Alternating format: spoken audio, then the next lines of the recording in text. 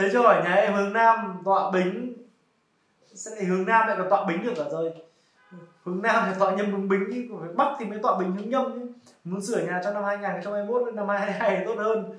Tháng tư âm lịch vừa rồi em có nhận các bạn chữ lý chọn ngày đông thổ nhưng lại bị hủy do dịch. Em muốn hỏi là bây giờ là muốn sửa luôn trong năm 21 hay là đợi qua năm 2022 thực ra thì sang năm 2000 nếu như mà cái nhà này mà là hướng nam á thì uh, cái tháng 9 vừa rồi cái tháng này này là cái tháng mà cái nhật nguyệt đáo sơn nó đáo vào cái hướng nam là là là, là cái tháng cuối cùng rồi.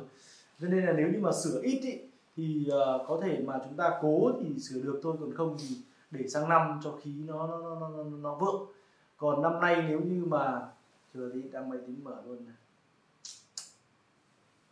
Năm tân nếu như mà sửa vào năm 2022 nếu như mà anh chị sửa trong vòng khoảng 2 3 tháng thì chúng ta có thể chọn thời điểm vào tháng 10 tháng 10 âm lịch hoặc là nửa đầu tháng 11 nhưng mà sợ đi muộn quá, nhưng sang tháng 10 âm lịch có thể chọn được.